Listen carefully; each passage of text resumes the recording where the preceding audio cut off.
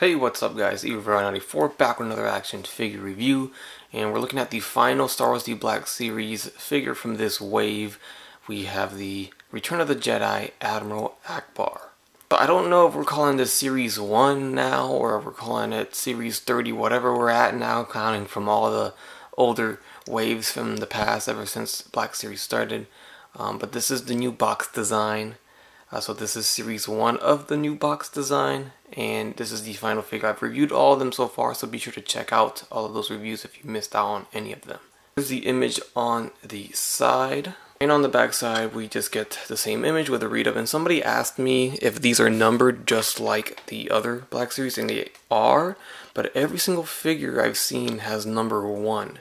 So I don't know why they all have the same number. Maybe that means it's series one and they're not numbering each one individually, or maybe they're numbering number one of Return of the Jedi and then number one of uh, Clone Wars, number one of Empire Strikes Back, and all that. I don't know, but we shall see, I guess, in the future if that number changes in Wave 2.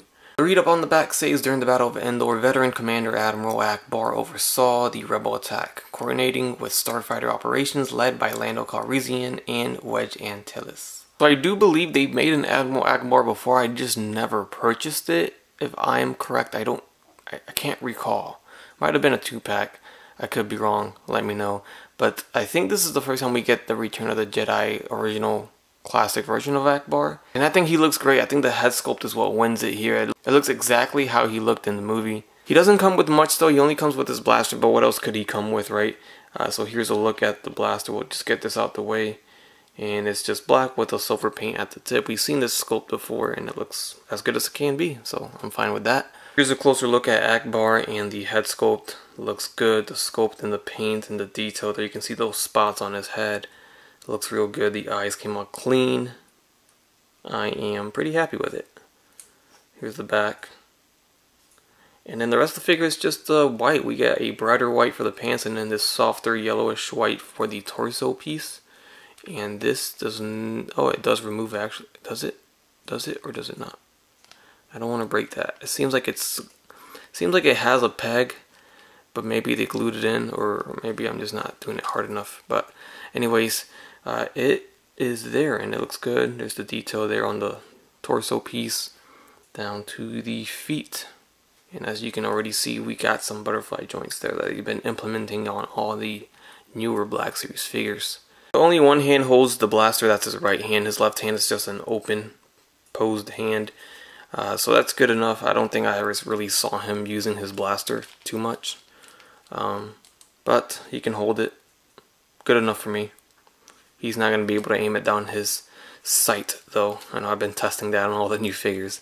When it comes to his articulation, he does have head movement. It goes up. And as you see, when you put his head up, his mouth opens up. You can I think you can, no, if you want to close the mouth, you got to move the head down a little bit. So there's that. So yeah, the jaw is articulated somewhat. It does get hindered by, you know, his collar here. Um, but it's still cool that we get the articulated jaw. I'll take that. Uh, left and right is going to be even harder. He's just very limited on the on the head movement here. So it's a little tough there to get that movement going.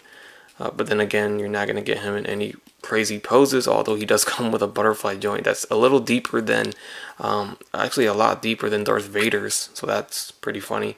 But there you can see he can just skydive if he wants to, and then he can put his arms forward because of those butterflies, and he can clap his hands pretty much.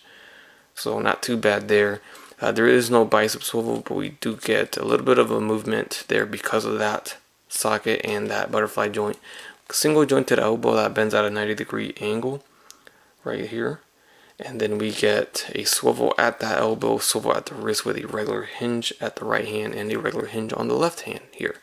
And I don't know if I pointed out, but there's a lot of texture on his skin sculpted on there. And it looks pretty good too. I think I missed out on that when I did the close-up. But just going to point that out right now. He does have a lower diaphragm ball jointed swivel. So he can tilt like this, left and right, swivel, go back and forward not too bad this does kind of get in the way it's a bit of a harder it's a hard soft plastic if that makes sense it's soft it's pliable but it's still pretty hard for it to uh, you know hold his pose or hinder his pose a little bit. Uh, the legs are going to kick forward. They're on T-jointed legs. So they kick forward about this far and back down. They go in and out. We have thigh swivels, single jointed knees that bend at a 90 degree. They swivel.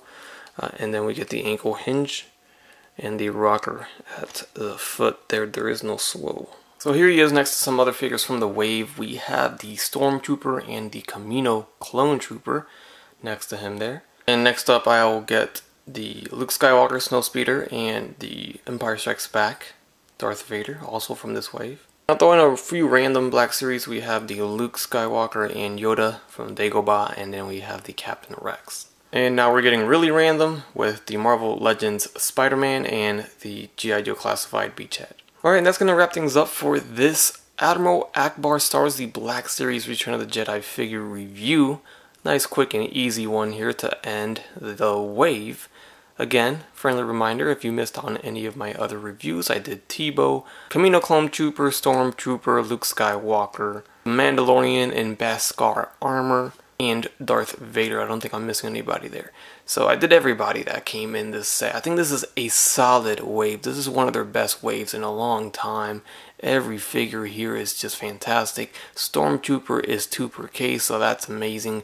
You get to army build the Stormtrooper if you need to do that. Kamino Trooper is army builder too, but I don't think people are going to army build that one too crazy since it's just a Kamino Trooper.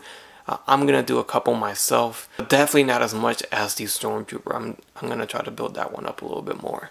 Alright guys, let me know your thoughts on the entire wave. Let me know your thoughts on this Admiral Ackbar. Leave a like down below. Subscribe if you haven't done so already. And as always, have a great day. Bye.